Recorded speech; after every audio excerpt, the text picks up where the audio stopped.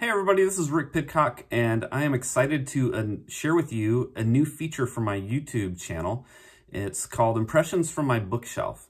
And I've always had a real passion for reading, but over the past five years in particular, that uh, my passion for reading has just really gone to a, a whole new level. And in the last two years, I've read about 100 books each year.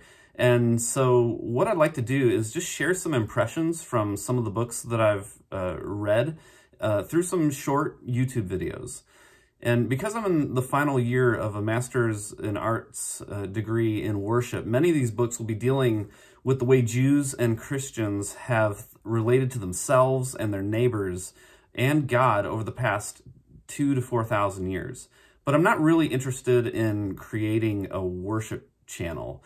I'm more interested in, in, in, exploring a convergence of conversations from across the religious, political, and cultural spectrum.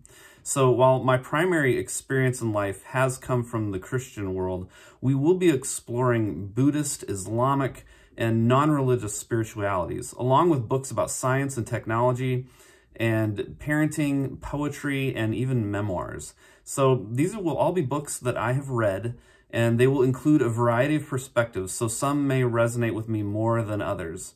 But I hope this will be a resource to pique your curiosity about a variety of books and, and lead you to purchase some of them to help you in your own life.